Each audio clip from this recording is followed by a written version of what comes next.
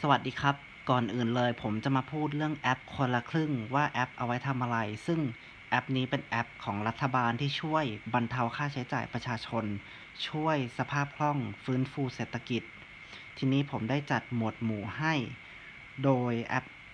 อันนี้จะมีประโยชน์ยังไง ก็จะช่วยให้เพื่อนๆสามารถ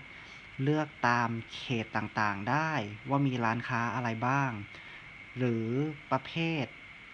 ร้านค้าต่างๆ ได้ หรือเลือกทั้งคู่ เพื่อที่จะช่วยในการตัดสินใจว่าควรจะลงแอปคนละครึ่ง หรือไม่ทีนี้มาดูกันว่าต้องใช้ยังไง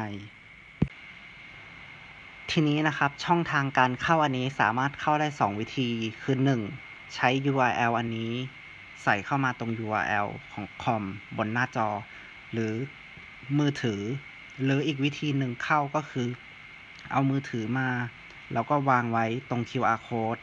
แล้วก็กดลิงก์มันก็จะเข้ามาหน้านี้จากมือถือได้เลยครับ ทีนี้พอเพื่อนๆเข้ามาเพื่อนๆ ก็จะเห็นตรงกลาง ว่าตรงกลางข้างบนมันจะเขียนว่าประเภทร้านค้า กดเลือกลงมาก็จะสามารถเลือกได้ว่า อยากจะได้ประเภทร้านค้า อาหารใต้ อาหารเหนือ เกาหลี อินเดีย อาหารทะเล อาหารญี่ปุ่น หรืออะไรก็ได้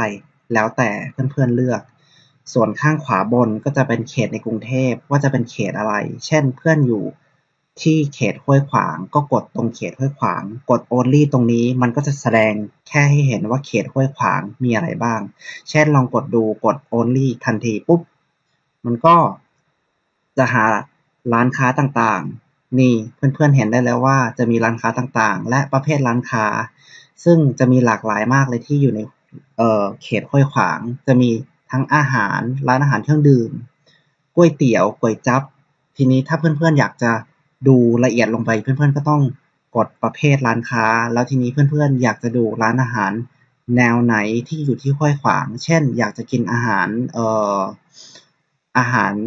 ร้านอีสานก็กด only ที่ร้านอีสาน ก็จะเหลือสามร้านค้า